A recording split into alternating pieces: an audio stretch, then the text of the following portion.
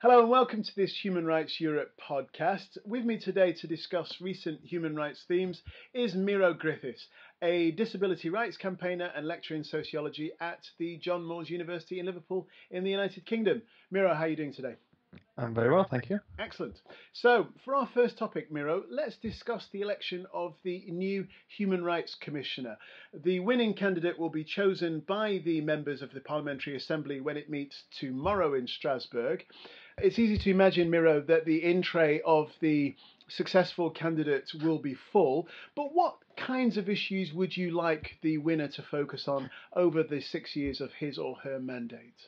Sure. So I think a good starting point is to recognize that uh, throughout our analysis of human rights issues, that uh, human rights has always been under threat, uh, and without naming any any specific countries or member states, I think we can see that uh, foreign and domestic policy shows what I would probably refer to as utter contempt for the guarantees of social and economic rights for marginalized people. So the starting point, I think there's something around recognizing the, the kind of gold standards of the UN Charter and the conventions, uh, which are appropriate to the discussions that we're having.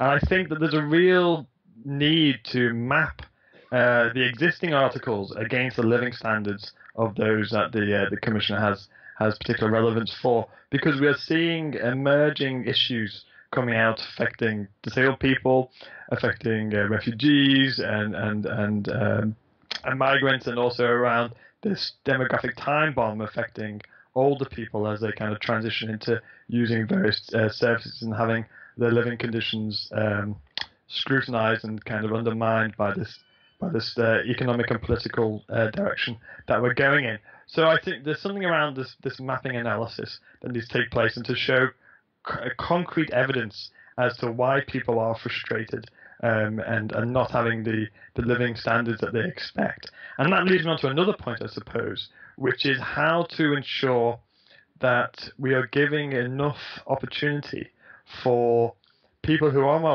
marginalized to come forward and describe and explain their frustrations and their issues around uh, human rights. Because I think so often we kind of conflate these two issues together this idea of describing uh, marginalization and then explaining why it happens.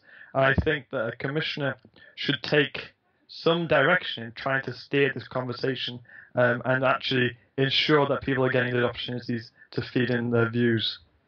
Now, as somebody who is a disability rights activist and also a sociology lecturer, uh, when you look into your crystal ball over the next six years, do you see issues emerging which you think the future uh, Commissioner for Human Rights will be obliged to address? You've mentioned one or two of them already to do with the issue of our aging society, aging Europe. Well, yeah, but I, think there's something around recognizing the, the, the sober reality of where we're going because we're going to have further frustration. We're going to have people unable to access decent standards of education, of health, in order to have their health needs met, in order to be part of their community. Going forward, we're seeing, uh, you know, from my own area of, of, of, marginalized communities, the the disregard for trying to tackle uh, institutionalization across Europe. So all these issues are breeding a, a, a a continuous cycle of anger, poverty, reduced life standards, and many people are feeling that their that their desire for emancipation is not being realized.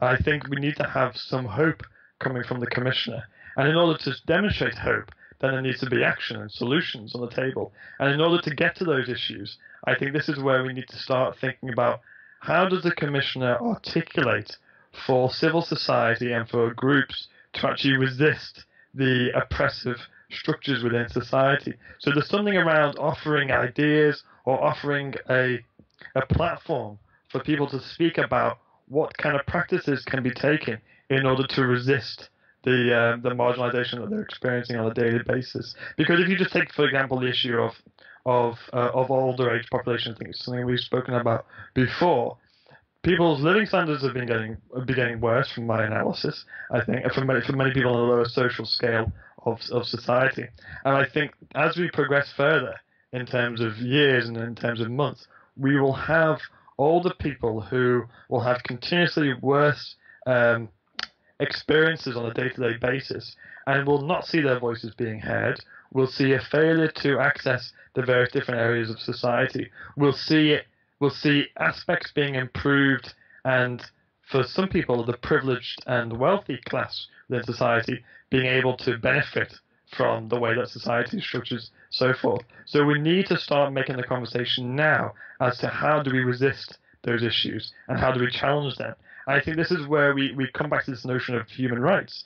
Because if we go down the same route of creating charters that we, although we've got many charters already, or if we go down the route of saying we need to have uh, an opportunity to explore uh, what what you know what kind of human rights we want and where direction and which demographics we want to tackle and so forth. All we'll do is we'll we'll recreate this this function for government, which is to act as a disciplinary tool. So you use rights as a tool for di- for disciplining those who kind of stray from the general direction.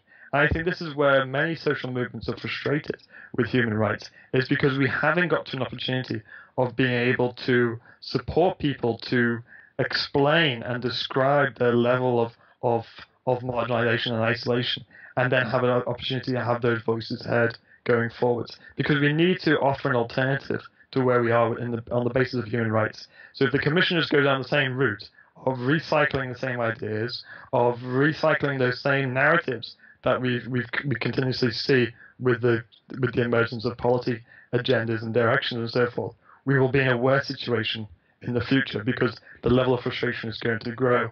So I think it's about trying to articulate what is the purpose of rights going forward and how do those rights become realized for many people on the ground. Uh, Miro, at the time of recording this conversation, the Secretary General of the Council of Europe, Thorbjørn Jagland, has just finished his address to the Parliamentary Assembly. He gave a very uh, sober and somber, in some ways, presentation of, of what has happened over the over the previous year, and he appealed to the governments of Europe to continue to support the convention system and the work of the Council of Europe. So let's take that as the premise. Then, how do you think we can?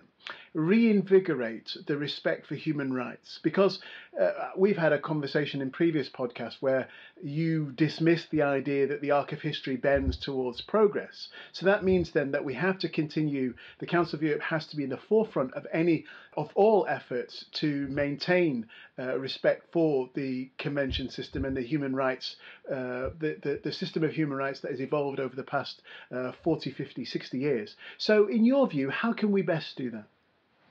So I think one point, one place to start is what I refer to as this idea of, of futurology. And it's an interesting area of, of sociological research, and I was I was speaking at an event uh, on the weekend regarding the impact of the British exit from the EU, uh, the impact it will have on children and young people.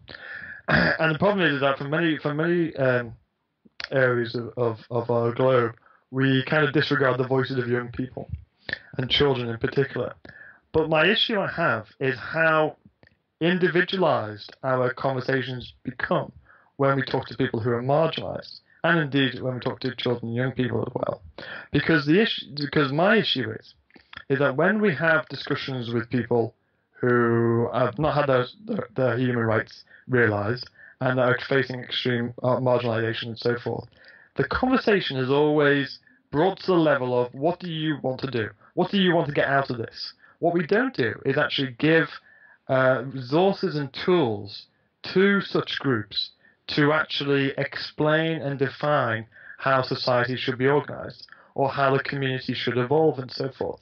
We just ask for very, very individualistic, simplistic answers as to what does this mean for you in your everyday experience. So I think what needs to firstly happen is, as I said before, try to map the, the current UN convention and the charters against living standards so we get a clearer picture. Then it's to go forward with trying to help people describe and explain their, their frustration, but also offer the alternative. Because the answer as to how do we want a just and equal society are already there. It doesn't. It's not going to be something that's going to be a eureka moment. Many social justice um, campaigners and people who work within the areas of human rights have been articulating the same messages for, for many years. Uh, and this is a, a, common factor of anybody who works in, in, in, in, in marginalized issues. So what we need to do is actually offer that opportunity for those who are marginalized to be providing the vision for what the for what the future should be look like and how we should get to it. And I think that in, in that conversation, it's very much the case of ensuring that marginalized children and young people also have those opportunities. Because I want to see an offer for an alternative society born out of out of those on the ground, and then I want to see the commissioner and the policymakers reflecting that. It's not the case, from my point of view, to have a commissioner or to have policymakers and decision makers being at the forefront of leading the ideas. The ideas emerge from the grassroots level, and when they emerge from the grassroots level, it's then the the the the, the role of the commissioner and the policymakers to be the facilitator for those ideas, to explore them, because we've seen from our from our evidence, and you know we can Google it, we can look at academic searches and so forth, is that rights are only realized insofar that they contribute to the economic and political objectives of the states that we're referring to. So if we go down this route of just focusing purely on rights, I think we will be distracted from the inequality and inequity uh, within society. So we need to think about how we create resistance, but we also need to think about how we create those dialogues for the alternative future that we want. Is it possible to take human rights out of the machinery of statecraft so that it really does reside with the people and it evolves at the at the demand at the at the bequest of the people. Well, I think that's a really, a really interesting point because if we look at rights, I think sometimes we celebrate rights too easily. I don't mean that in terms of just disregarding what, what many people fight for, but rights are a reflection of the of the inequity within society. So if we focus too much on trying to take a rights-based approach without trying to address the the causes and the and the core issues that create this this fluctuating levels of inequity and and and and the levels of, of being unequal and so forth, then I think there's a real risk of being distracted. And I say that because for many campaigners, when we've done analysis of social movements um, who have been trying to fight for, for, for issues around oppression, what we see is that there is a real risk of becoming too closely aligned with the machinery of government. And I think there's, there's a great, uh, I think when in one of our previous talks, uh, I spoke about people who influenced me. And the sociologist Michael Oliver and another one, Colin Barnes, who are both uh, academics uh, within within disability studies. And one of the uh, most profound quotes uh, that I that I seem to go back to when I talk about a rights-based approach was that there's a risk of becoming too closely aligned to government, and if you do so, you then risk being incorporated and end up t- carrying on the, their proposals rather than actually the proposals of the social movements and the and the people who want emancipation. Because the other which is a risk of being even uh, even furthermore uh, marginalized and, and eventually go down the route of, of being dismissed. Can I just jump in there? There was a there was just a break in communication. You you you you mentioned where it broke down. You were talking about the fact that the the rights movement could be almost swallowed up by the by the government. So if you could just take it from there. Sure. So I think that the, uh, let me think. So the the scholars like Mike, Michael Oliver and Colin Barnes, who, who work within disability studies, spoke about if you go down a rights-based approach, and therefore you align closely with government in order to try and get your messages heard, well, there is a risk that you'll become incorporated within the machinery of government, and then you end up just taking forward the proposals of the of those member states rather than actually the, the ideas and agendas taken forward by by the social movements. And I say that because if you look at a lot of a lot of uh, civil society organizations, many of them rely on the funding from government. So actually, how do you have a clear social movement and clear network of organizations that can challenge and critique effectively the actions and behaviors of the state when actually they rely on that funding in order to survive and exist. And then I think the the alternative, which again is to take a, a more of a um, of a stance of trying to combat and trying to uh, you know, bring down uh, these these mechanisms of power and so forth. Well, the risk there is then you become, you get too far away and you eventually eventually end up being further marginalized and uh, eventually eventually just dismissed. But there is a basis of this idea of power, and I think in one of our very early conversations that we had when we used to do our Facebook interviews, I remember making the point that if you if you uh, if you don't challenge these mechanisms of power, then you effectively will will be disregarded. But there's a uh, there's a more of a sense of how do you take ownership of the policies and the ideas brought forward from the, the likes of the commissioner and the policy making teams. Because if you take, I mean, I didn't re- I didn't hear the speech by the commissioner, but if you take the commissioner's speech and then you actually explore it with groups of people who are marginalized, how many of them do we think will be able to take uh, it will have resonance with what the, what that person said. How many of them would articulate it in the ways that it was it was articulated in our agendas and policy documents and so forth? Because many of our tools that we create at this level and at this point in discussion bear no re- resemblance to what how people articulate it, how people want to speak about it, and want to have their views heard on the ground. So we are detaching ourselves, and we risk just creating this pool where we discuss the issues and other people who are who it affects on a daily basis feel further annoyed and frustrated. To be fair, I think the Secretary General's speech was aimed at a public of 47 people, those uh, people who are uh, effectively running the member states of the Council of Europe, one of whom will be here this week for the Parliamentary Assembly session. That is the Prime Minister of Denmark. Now, Denmark holds, uh, Miro, the chairmanship of the Council of Europe Committee of Ministers, and as one of its priorities, it's highlighted the need to tackle the issue of the uh, sexual abuse of children with disabilities. Now, from your own understanding of this issue, Miro, uh, what is the scale of the problem that that uh, we're faced with in Europe?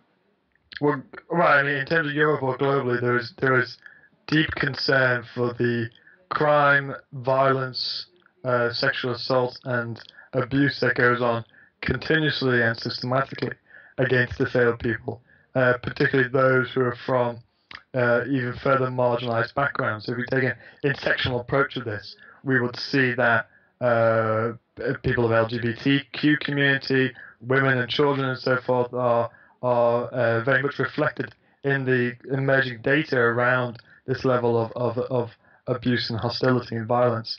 And I think, as we know, just, you know, disabled people should and want to be included in their communities and be valued and have a role in the respo- in, in and responsibility within society. But to do this, we need to address the social world around us rather than the individual. So to take an approach of of, of reinforcing narrat- narratives of say vulnerability, or taking approaches which which ultimately just protect uh, the individual is not going to actually t- uh, tackle the issue uh, at its core root. Yes, we need to have support for people who do experience such such horrific uh, incidents and, and violence, but there, there are two different narratives going on here. One is the protection and the support that's required continuously for people who experience this. The other is to try and tackle the issue uh, and why it emerges in its entirety across Europe.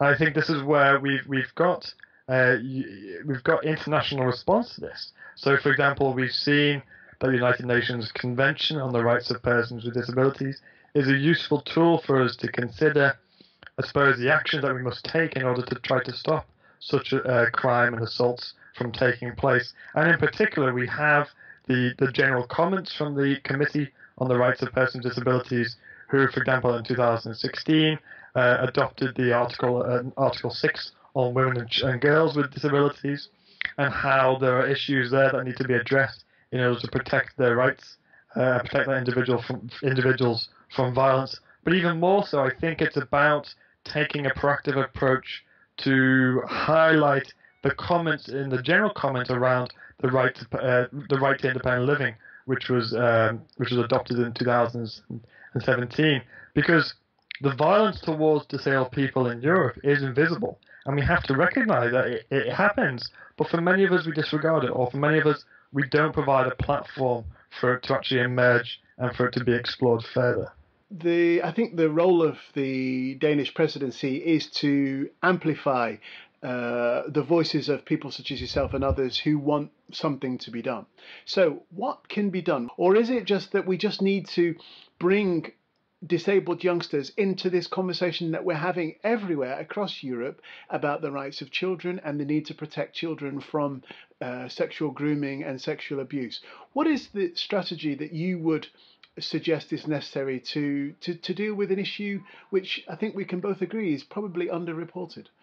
Definitely. So I think uh, your, your second point was quite interesting around making sure the voice of, of children and young people are involved in these debates, and and that's very much the case. What I would probably be advising if I was in that position would be to think about the philosophy regarding independent living.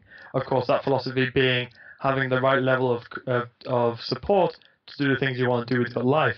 Because uh, it's about having choice and control over one's life and receiving the right level of support in order to have self determination over the activities of everyday living.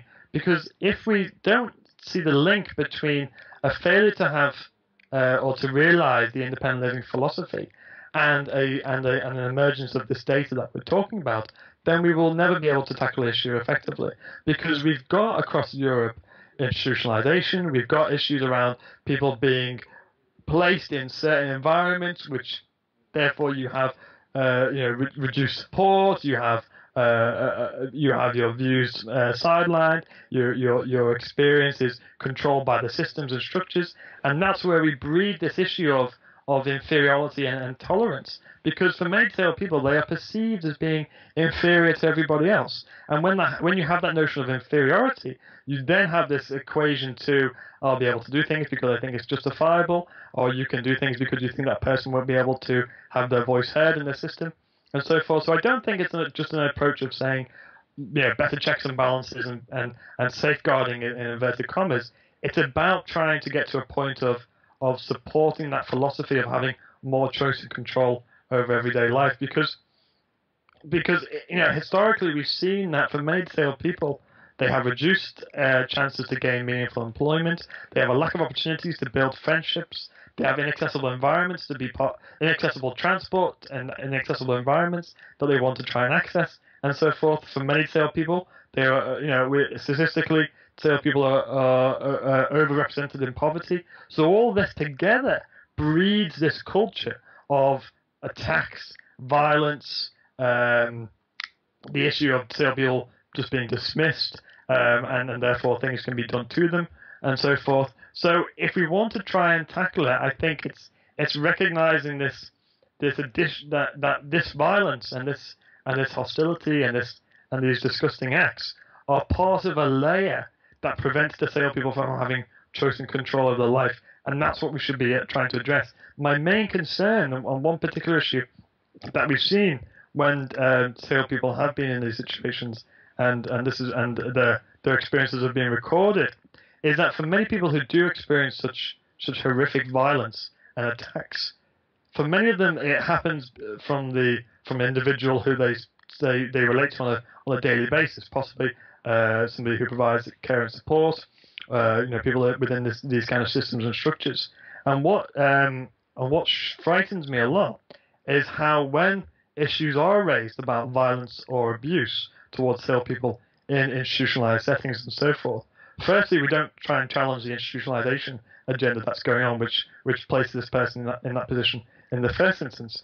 But equally worrying is this is this tolerance of just trying to take it as take the issue as an as a, almost at an administrative level. So if somebody abuses or attacks, say, a person, and therefore is in a position of employment within the system, and rather than actually go through a criminal justice procedure, the person is sacked or the person has moved to a different department to provide support to other people and so forth. So it's trying to tackle institutionalization at the ground, it's trying to tackle the, the reduced opportunities to have choice and control over our lives, and to have a voice in, in, in everyday in everyday agendas. But it's also trying to realize that when things do happen, there are proper procedures that can take place in order to ensure it doesn't just get swept under the carpet, it doesn't just get moved aside, it isn't dealt with as an administrative issue, but it does follow a procedure where people can have their voices heard at a prosecution and law enforcement level. Indeed, this is definitely a subject that we'll return to in future podcasts, Miro. Um, for our last uh, topic of conversation, I'd like to turn to the issue of prisons. This week at the Council of Europe, uh, experts are meeting to revise uh, prison rules. And a quick flick of the newspapers here in France and in the UK shows that the conditions in which uh, inmates live are, are back in the news. There's a, um, an industrial dispute here in France. There's been a spate of, uh, of, of, violent attacks within prisons. But beyond that, there's also this concern about what we're supposed to do with the increasing number of people who are convicted for terrorist offences. So if we bring all those together, I just wondered what your thoughts are as somebody who's interested in human rights, uh, Miro. So I think the, the, the first thing to recognise is that we need to take a little bit of a, of a step back, I suppose, and try to assess the issue a little bit of rational thought. And I say that because so often when we look at these debates and, and, and conversations, the only kind of response typically from, from member states is to resort to the kind of uh, you know the conditions around pandering to the fear of crime with increasing harshness, attacking civil liberties, uh, attempting to control very large uh, contingents of society, who most often are not, uh, you know, represent the poorest people within within society. So I suppose when we look at these these, these policy uh, issues, or we look at these kind of topics that emerge in terms of the ones you know you've highlighted in the recent news articles and newspapers in in, in Western Europe and so forth, is to recognise that when we're trying to tackle, when we're trying to discuss these issues, we need to take a constructive approach and take it down to the fundamental causes as to why this is happening. So, for example, when I look at issues around uh, you know isolation or the use of of provisions of, of, of resources to to prisoners and so forth, um, I think what we talk mean think about is the social disintegration and think about why this is happening. Why are there more resources being directed to certain contingents within society rather than the general public?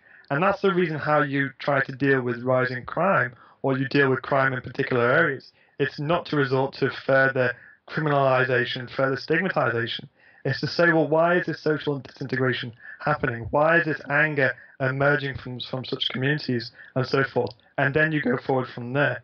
And when I, when I, when you um, you know spoke to me uh, in the last couple of weeks about you know the general topics that we may want to cover, I was just trying to reflect back on, on some of the lectures that I've been to and, and some of the reading that I've done, you know, throughout my my my life trajectory on on human rights. And I always remember Angela Davis, uh, the the kind of uh, activist from America, uh, linked to civil rights movements and so forth, who spoke. And I'm, I'm very much uh, you know paraphrasing here, but spoke about this issue of institutional violence leads to personal violence uh, and then you you almost just look for instant solutions rather than the kind of fundamental causes, because all levels of violence are entwined. So you can have you know foreign domestic policy, which which kind of affects substantial amounts of of the community, those who are on low socioeconomic platforms, and this leads to uh, enacted aggressiveness. It leads to hostile policies becoming uh, becoming internalized. So people are angry at the situation,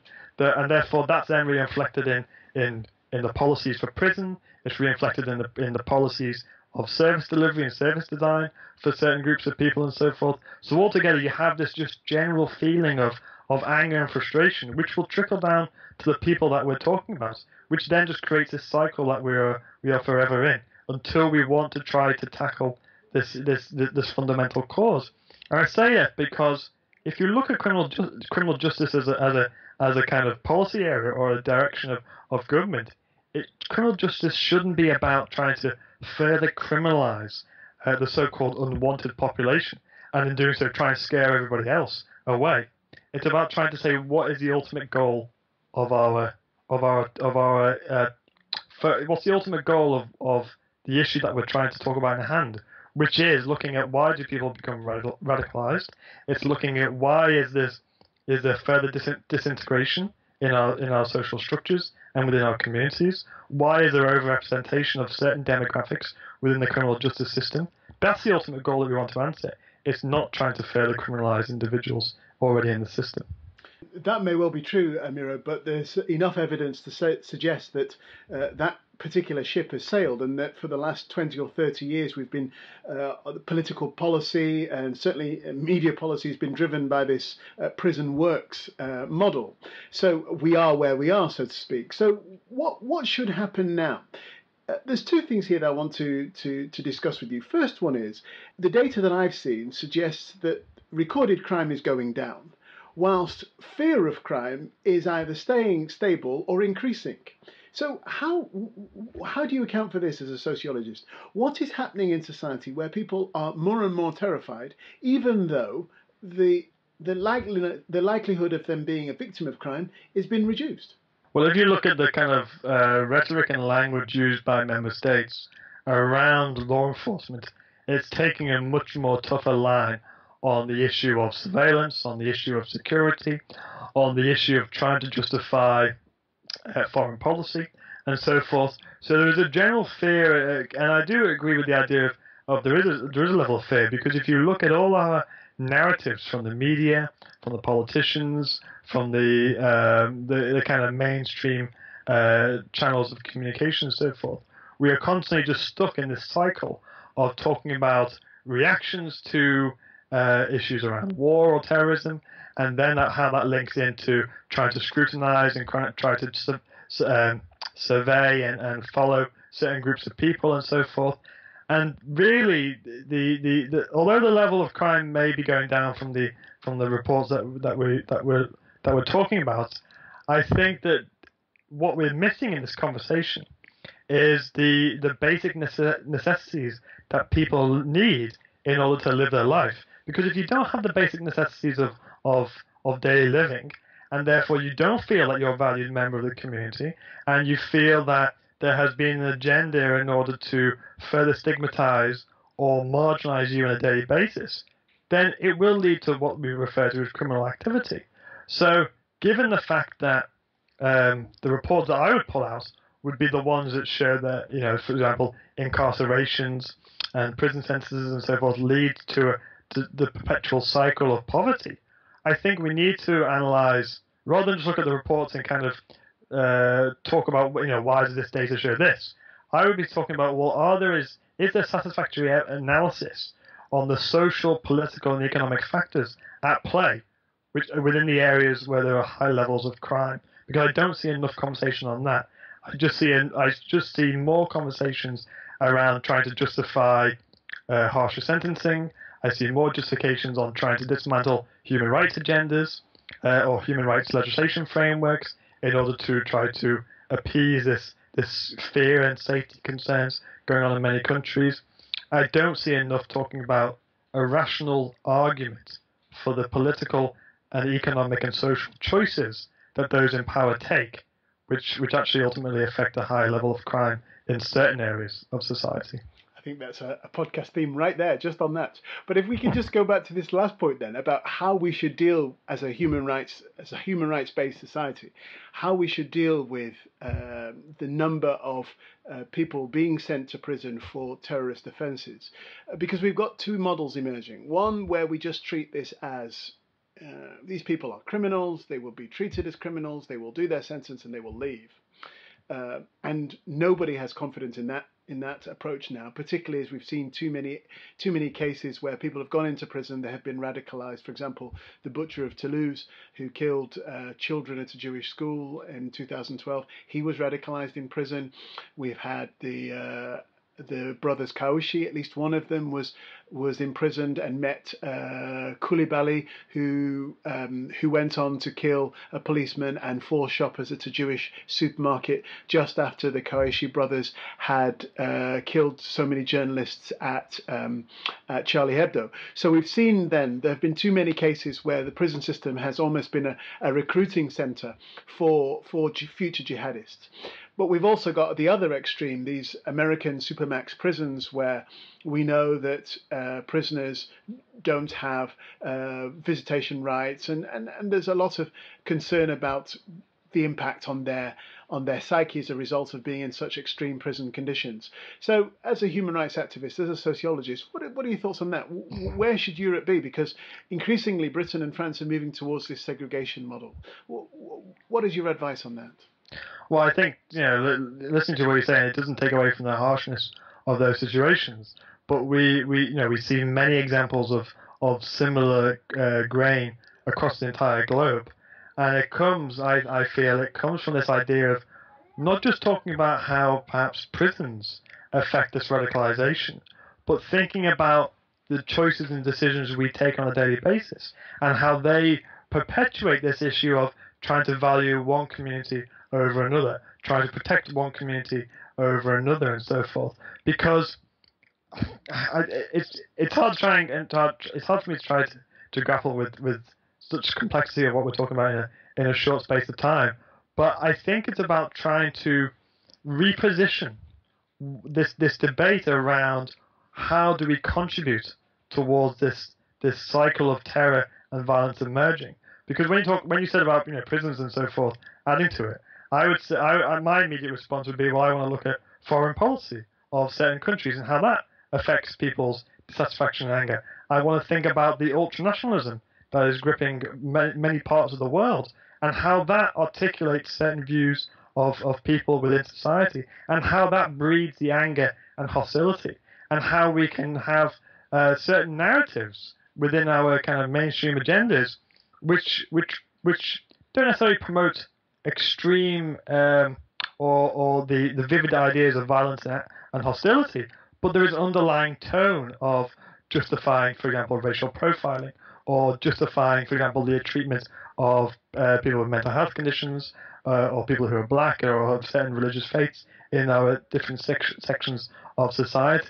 So it needs, uh, in, for me, it needs a more comprehensive uh, analysis, but it also needs to call out this this underlying unsettling feel of of what I would refer to as almost this kind of friendly friendly nationalist principles that we have so often in, in areas of in areas of our in our of our continent, which is allowing this to continue and is trying to deliberately shift the debate to one of saying it's the problem of the other person, it's not the problem of what I think and what I do. Because you know, for example, um, I won't name any countries, but we've seen policies where we say it's the responsibility of the university or of the school system or of the health service to to to identify areas of radicalization. It's the fault of, of, of this system or this structure and so forth. And for me, it's about saying, well, hold on. As individuals in society, can we uh, analyze our own status, our own views and values towards certain groups within society? And can we be part of that process to try to reposition what it means to be a human being in society? Because anything else, I feel, is just trying to stick large scale plasters over a problem which is going to continue if not dealt with satisfactorily. People will hear what you say, Miro, and think that this is the classic liberal dodge. That in fact you you're bringing in all these uh, wider social, cultural, political uh, uh, forces to bear on a, a, subject which is precise and demands a, a, an answer. As human rights defenders, we have to uh, extend human rights coverage even to places, uh, even to penitentiaries, places where people have been incarcerated. And Europe is increasingly faced with a situation where increasing numbers of young men are being imprisoned for terrorist offences or even for just uh, petty crimes, as they call them in the UK. These men are coming into contact with others who who have it as a vocation to turn them into the jihadi warriors of the future. Now, how does human rights, the, the concept of human rights, the system that we've evolved over the last 50 or 60 years, deal with that situation? That is the nub. How do we deal with it without bringing in all these other uh, social, cultural forces to bear? How does human rights respond to that situation? Okay, so I think there's a number of kind of things I pick out from what you're saying the first point to make is that our life doesn't operate in silos. So I think we do have to bear bear and take a, a bit more of a of a wraparound approach in, in, terms of daily living and try to analyze this. Secondly, I would talk about the the importance of human rights. If we are to take a rights-based approach, is to protect people's civil liberties and their status as human beings, and we need to use that line unwaveringly and in solidarity in order to show the significance and the importance of it. Failing to do so then just undermines human rights in its entirety and, and therefore leads to areas where we've seen uh, the dismantling of human rights provisions and legislations, or the idea of human rights being uh, available for the deserving and, and not available for the so-called underdeserving. But I think there is an issue, and this is where I, this is where I have to try and you know, come back at it. Is to say, well, if I look at areas of our society which has gone through immense austerity measures and where we've seen prison conditions falling and failing, which for some they may say, who cares? nobody cares about so-called prisoners in these situations. But actually, the way you know, again, go back to basic necessities. If they are if they are met, it's going to breed more anger and hostility and so forth. But we've also seen the dismantling and the evaporation of uh, youth workers, of uh, community liaison uh, workers, of people in the community trying to build cohesion and collaboration. All of this is being dismantled at the same time of not necessarily trying to address the issues that you've highlighted. So if you don't look at the issues of community partners, of people involved in trying to build community cohesion, of trying to celebrate the importance of human rights unwaveringly and build that, that collaboration together across all these different areas and so forth. If you don't do any of that, then the reaction response is to say you need to have further scrutiny, you need to have further security, further um, uh, mass incarceration of, of individuals and so forth. And all the evidence, as you've alluded to, Nigel, shows that for those who have gone down that position, it hasn't led to anything being addressed. It's actually just led to people of certain statuses in society being further impoverished and breeding further anger, further hostility, and further reaction when they have opportunities to try and come back at that. I think it's about trying to show show hope and solidarity to people who are angry, but also ask why are people angry? Ask people in the prison system why are you angry? Where do you feel you've been failed and let down? Can you understand the anger from other people in the community as well? Because the problem that we have is those with the with the incredible power in society are very happy for those who are in these situations that we're talking about to point the fingers at each other, to blame each other in these circumstances, without actually trying to say, is there a wider analysis that needs to take place here? As a as a last question, Miro Griffiths, what what can we do strategically, specifically, to build support for human rights? Because if we don't, you will recognise, we've had this conversation before, if we don't do this, support will decline. And that those people who were much more interested in pointing the finger and saying, that group over there is to blame, we need to roll back some of these so called victories in order to have a society that works better for you. Those people will hold sway. So, what specifically can we do? What what are your recommendations? Because I think this going forward will be the key conversation that we'll have in these podcasts. Okay. And it'd be interesting if you ask that question to other people as well to try and see what I'm different going to. ideas I'm you doing get. my research on air. Yeah, but what I would what I would say, I, and the first one is going to be a, a kind of you know, go back to the issue of solidarity. I want the commissioner to be the facilitator of international support for the topics that we're talking about. It's not to come up with the ideas, as I've said.